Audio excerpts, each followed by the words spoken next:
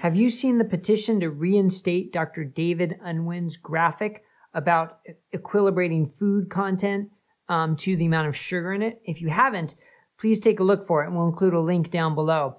I'm Dr. Bret Scher, the medical director at dietdoctor.com, and I want to talk to you about this um, situation that's happening with this graphic that Dr. David Unwin uh, created. Now, in full disclosure, look, I'm a big fan of Dr. Dr. Unwin's. Uh, you know, we had a great podcast episode with him at Diet Doctor. We have a whole video series um, for clinicians on using low carb in a family practice based on on Dr. Unwin's practice, um, and we've we've used his his graphic that he created. It's it's a great chart that shows um, when you're eating certain foods, whether it's like bananas or spaghettis or or um, bread or or porridge, which we call, I guess, oatmeal in the U.S., and, and what the sugar equivalent is.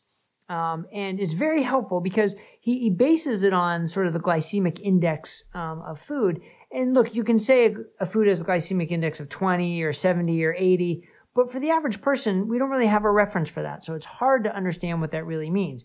But as he, his graphic shows, and, and we'll link to it down below, a cup of cornflakes is equivalent to 8.4 teaspoons of sugar. That all of a sudden, that's a graphic we can relate to. Or the so, you know, supposedly healthy porridge, um, a two thirds cup of oat porridge is equivalent to 4.4 teaspoons of sugar. Like that's a graphic that really helps. And so he's done a wonderful job creating what he set out to do, a simple way for people to understand that the food they eat is converted to glucose and that glucose is the same that you get when you eat sugar. Now, here's the problem.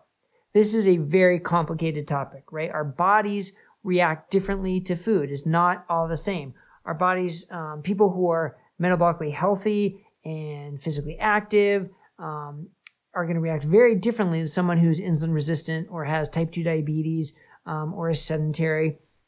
And so I guess you could say this uh, graphic got in a little hot water when article was written about it by Barney Calman on the Mail on Sunday. Um, and he wrote an article about it because he and one other person sort of stress tested this. And they would eat the sugar, um, test their blood sugar, they'd eat the food, um, test their blood sugar, and they showed that it wasn't equivalent, right? That his graph didn't hold up every single time um, for all the foods that they tried. And and he's right. It's not a perfect graph. It's not going to be the same blood sugar rise um, for every single one. So the question then becomes, does that invalidate this graph? Because then the uh, NICE, N-I-C-E, the UK National Institute for Health and Care of Excellence, who is using his graphic, pulled it um, because of this paper, this journal article that they wrote, um, and because it called it into question. But I mean, it brings up a great, a great point of trying to make a, a simple graph for people to understand the concept is different than saying it's the same for everybody. So petition is circulating to say, let's reinstate this um, because it was, it was sort of improperly pulled. But whether it was proper or improper depends on what the whole um, understanding is about the graph. So if you think this is a graph that's going to apply to all people the same, you're right. It should not be used. It's improper for that.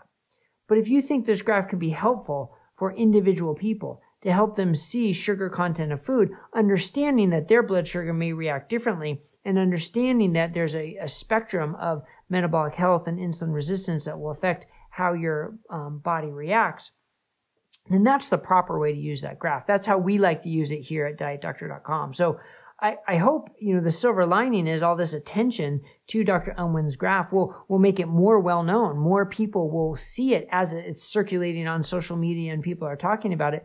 But let's make sure we're using it appropriately, interpreting it appropriately, and what it means for us as individuals. All right.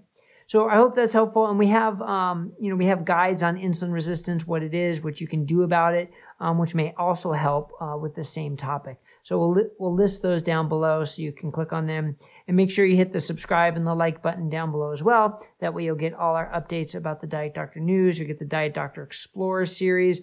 Um, you'll get all our podcasts and our cooking videos and so much more. We really, we really have a wealth of information here on YouTube, all aimed to make low carb simple and help you get healthier.